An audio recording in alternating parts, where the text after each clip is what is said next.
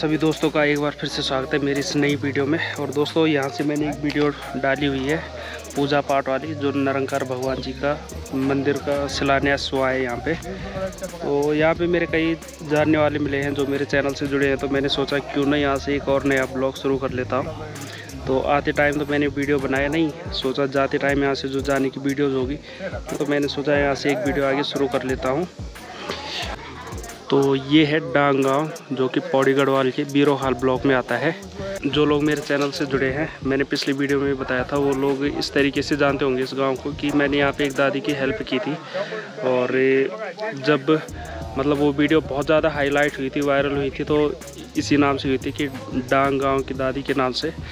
तो जो मेरे चैनल से पहले से जुड़े हैं, उनको याद आ गया होगा।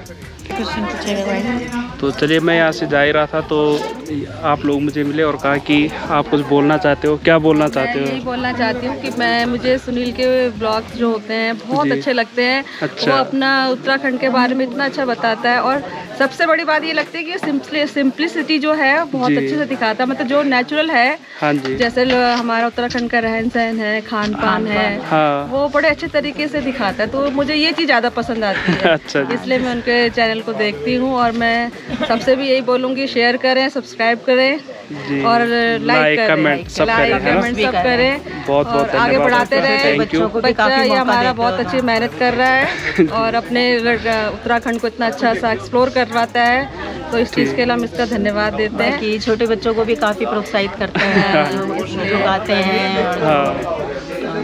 अपने बारे में आगे बढ़ने के लिए बोलते हैं उनके लिए भी काफ़ी आगे करते हैं उनको प्रोत्साहित करते हैं। ठीक है तो आप इनके- लोगों से इनके- मिलके इनके बहुत अच्छा जरिए- लगा मुझे भी। इनके ज़रिए हम अपना उत्तराखंड का हर हाँ, चीज़ जान लेते हैं। हैं। कौन से सा लेके- फूड्स हो रहा है यहाँ यहाँ वहाँ कौन सी फ़सल हो हो रही है? अब कभी ये कचबोली खाते रहते हैं? अपने घर का भी दिखाते हैं अपने घर तो का भी बड़ा अच्छा है। दिखाते हैं किस तरीके से और इनकी रहा है। फैमिली बहुत अच्छी भी लगती है हाँ, हमारी फैमिली में सबसे अच्छा कौन लगता है आपको? हाँ, आपकी फैमिली में सबसे मुझे भाभी बहुत अच्छी लगती है। वैसे मम्मी भी अच्छी है अच्छा, पर अच्छा। भाभी बहुत ही अच्छी है तुम्हारी। ज़्यादा उनकी जो उनके लिए मेरा मेरी तरफ़ से उनके लिए बहुत बहुत छोटी है मेरे व्यंजन भी बहुत अच्छा बनाती है। हैं से प्यार बोलना बहुत अच्छा है। सभी बच्चों को प्यार और मम्मी पापा को नमस्कार ठीक है ठीक है जी और जब हमारी पूजा हम हमारा जब मंदिर बन जाएगा हाँ। जब दोबारा इसका वो हम करेंगे जी, जी। फिर आप दोबारा आमंत्रित हो ठीक है ठीक है आप दोबारा आए बिल्कुल बल्कि मैं दिल्ली आया तो मैं आपसे ज़रूर मिलूँगा है। है ना हाँ, ज़रूर। फ़ोन नंबर तो यही मेरे पास है ना तो वहाँ आके आपसे हाँ, मिलूँगा मैं पहुँच नहीं पा रहा वहाँ आप पहुँचो मदद करो जो मदद करनी है हाँ। जिनकी जो जो है। अस्वस्थ हैं जो बिल्कुल। जिसको देख नहीं पा रहा कोई हाँ, हाँ। आप अच्छा है आगे बढ़ो और बहुत हो। मदद करते हो तुम ठीक है जी। लोगों तक पहुँचाते हो उनको हाँ, हाँ। सेवाएँ पहुँचाते हो। जब आप जैसे लोगों से मतलब प्रोत्साहन मिलता है ना तब मोटिवेशन मिलता है अंदर से कि हाँ ये काम और करना है। कई लोग डिमोटिवेट भी करते हैं कि ये क्या कर रहा है अपने लाइक व्यूज़ पाने के लिए ये सब कर रहा है ना। नहीं नहीं तो उनको मैं इग्नोर कर देता हूँ। देखा है हाँ। अच्छा है। स्कोप है और जी, इसमें जी। मेहनत बहुत है। मेहनत बहुत है। ऐसा नहीं और ईमानदार मतलब भी हो। हाँ, अच्छा जी। ईमानदार हो। ऐसा नहीं है कि कैमरा घुमा रहे हैं तो हाँ, बहुत ऐसे ईमानदारी इजी है बहुत। ऐसे इजी नहीं है ये। हाँ हाँ वो तो है। मेहनत लगती है। काफ़ी मेहनत लगती है। एक एक हाथ हमने पूरा एक अपना जी। पूरा है। करो, ये करो, हाँ, हाँ। कितना काम होता है इसमें एडिटिंग करना ये करना। लोगों से पहले तो पूछ भैया बनानी है कि नहीं बनानी। है, हाँ। ज़्यादा मुझे ये अच्छा लगा कि जो जिसके पास जो कोई पहुँच नहीं पा रहे वहाँ तुम पहुँच जाते हो और उनको दिखाते हो उनको जो जरूरतमंद लोगों को आप पहुँचते हो उनके पास। और अब दोबारा कभी डांग आना हुआ ना हाँ, तो हाँ। हमारे गाँव हमारे घर को ज़रूर दिखाना। ठीक है तो ठीक है। बहुत अच्छा लगेगा। हाँ। इस बार तो दिखा दिया अच्छे से। इस बार दिखाती लेकिन फिर जैसे हम तो हाँ, हाँ। हैं। जी जी। तो आपके ज़रिए हम देख लेंगे। ठीक है ठीक है मैं पूरी कोशिश करूँगा। ठीक है, ठीक है, है। थैंक यू आपको भी। धन्यवाद। तो भाई साहब, यहाँ पे जो भी प्रोग्राम चला ना, बहुत बड़ा तो नहीं था अभी, क्योंकि बड़ा प्रोग्राम तब होगा जब मंदिर बन जाएगा। तो इस कार्यक्रम में भी सब लोगों ने मिलजुल के जो है, एक दूसरे का सहयोग किया है, जो कि बहुत अच्छी बात है। अमूमन हमारे पहाड़ों में यही होता है कोई भी प्रोग्राम हो, सब लोग बढ़ चढ़ के अपना सहयोग देते हैं।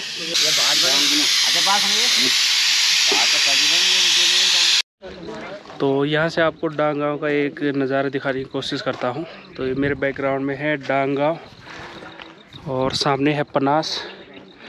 तो ये देखिए, गाँव के आसपास इतनी झाड़ियाँ हो रखी है और इतने बंजर खेत, क्या बताएँ। और यहाँ से दिख रहा होगा तो नीचे एक बड़ा सा मतलब समतल खेत है मतलब यहाँ पे स्टेडियम बनाने की बातें चल रही थी। तो शायद किन्हीं जनप्रतिनिधियों ने यहाँ पे आश्वासन दिया होगा कि यहाँ पे जो है स्टेडियम बनाया जाएगा।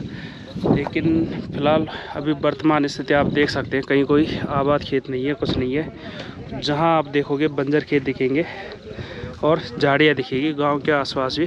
अभी ये देखो, घर के सामने इतनी झाड़ियाँ हो रखी है। तो ये तो आदत सी हो गई हमें इन चीज़ों की, कि उत्तराखंड में ये सब चीज़ें देखने को मिलती रहती है। तो क्या कर सकते हैं?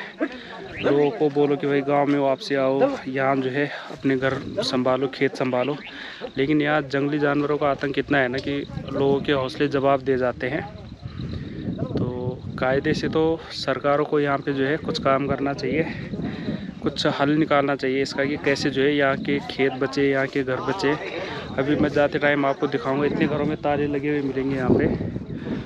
और अच्छे अच्छे मकान मतलब ताले लगे हुए हैं उनमें। गिने चुने लोग जो है इस गाँव में हैं और इस गाँव में नहीं, बल्कि मेरे आसपास जितने गाँव हैं, सब में ऐसे ही गिने चुने और बुज़ुर्ग लोग हैं। तो अभी मैं यहाँ छत पे आया हुआ हूँ। ये सामने हो गया जामरी गाँव, उधर कमडई, थापला, सामने बाड़ा डांडा है। उसके ऊपर को वहाँ चल के सौलाट, चैनपुर, ये गाँव पड़ते हैं। ऊपर भी जो है गाँव बम रही है मेरे ख्याल से।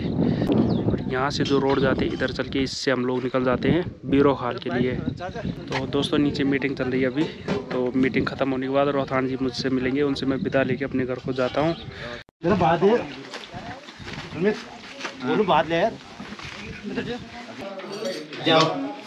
तो इससे पहले मैं यहाँ से जाऊँ तो रोहतान जी कह रहे हैं हमारे कुछ गेस्ट आ रखे हैं उनसे इंट्रोड्यूस कर लो। हाँ दर्शकों ये हैं मनीषा जी मनीषा रोथान जी जी नमस्ते।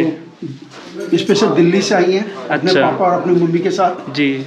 और दिल्ली के अंदर काफ़ी फ़ेमस है। अच्छा। बहुत सारी फ़ील्ड हैं गढ़वाली उसमें। अच्छा। वो ओके। मनीषा रोथान जी। जी। इनकी मम्मी जी हैं। ओके शारदा रोथान जी। ये हमारी भाभी जी हैं। अच्छा अच्छा। ये हमारी दो बहुरानी हैं। हाँ जी। ठीक है।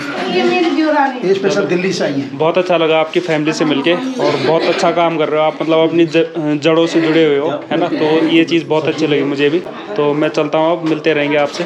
थैंक यू ओके जी। नमस्ते। ठीक है जी। बाय बाय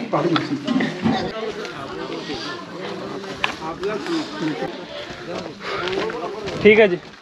ओके तो चलो जी अब ये है हमारी विदाई डांग गाँव से। और भाई साहब मुझे छोड़ देंगे जामरी तक।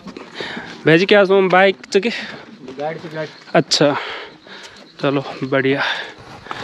तो जैसा कि वीडियो के स्टार्टिंग में मैंने बोला था यहाँ से काफ़ी पलायन हो रखा है काफ़ी घर खाली है टूटे फूटे हैं। तो ये देखो उसी का एक नज़ारा यहाँ पे भी। और बल्कि मैं तो यहाँ नीचे से निकल जाऊँगा नहीं तो आप यहाँ देखो। कितने घर हैं, कितने छन्नी है, घर भी बंद पड़े हैं, छन्नियाँ टूट फूट रखी है। तो ये हाल है ज़्यादातर उत्तराखंड के गाँव का। ये देखो यहाँ पे भी।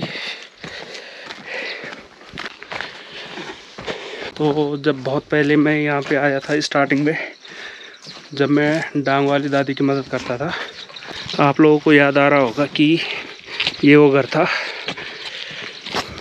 और जब मैं यहाँ आया था, मैं यहाँ से नीचे दीवा मंदिर के लिए जा रहा था, तभी देखा यहाँ पे एक बूढ़ी सी दादी बैठी है और कोई है नहीं उनके पास।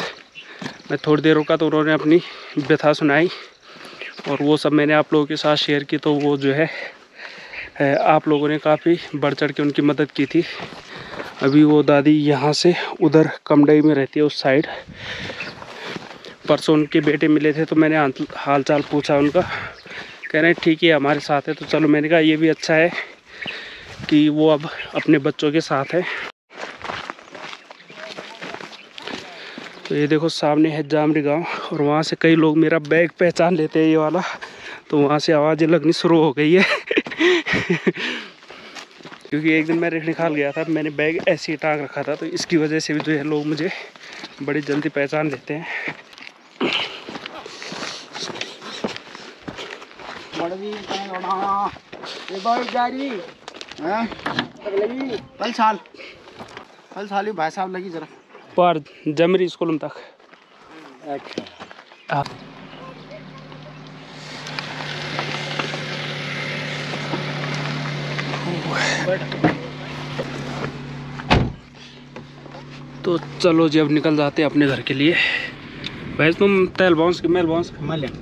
मल मेल बाउंस है अच्छा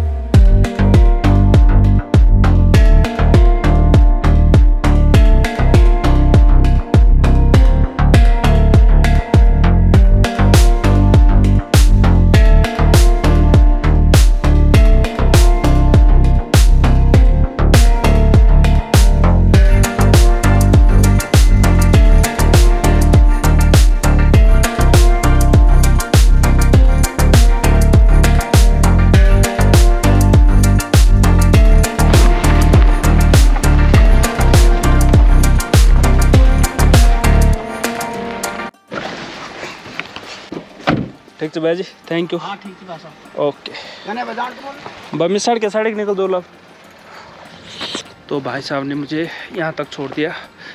यहाँ से थोड़ा सा रह गया मेरे लिए पैदल। ये देखो ये रोड जा रही है वहाँ से ऊपर घूम के। यहाँ से उस साइड। तो दोस्तों अभी मैं हूँ। जामरी और तलाई के बीच में, उस साइड जामरी, इस साइड तलाई और यहाँ से रोड देखो आप, कैसे चढ़ाई वाली है।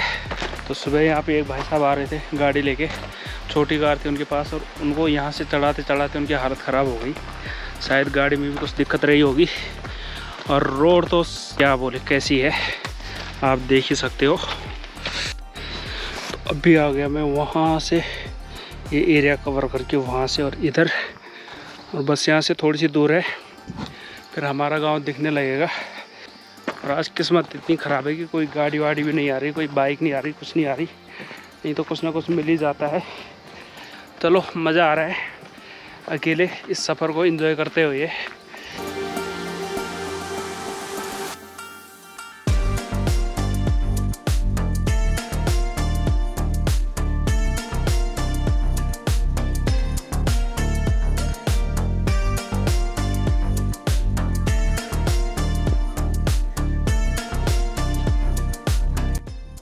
तो फ्रेंड्स घर पहुँच गया और हाथ मुँह धो के चाय पी ली है और मेरे साथ सो रहा है सक्षम बाबू। तो चलो इस वीडियो को यहीं पे एंड करते हैं, आपसे मिलेंगे फिर किसी नए ब्लॉग में। और ये वीडियो कैसी लगी आपको? कमेंट बॉक्स में ज़रूर लिखना और जो लोग पहली बार मेरे चैनल पे आए थे, यार चैनल को सब्सक्राइब करके ज़रूर जाना। तो बाय बाय दोस्तों, जल्दी मिलते हैं अगले ब्लॉग में।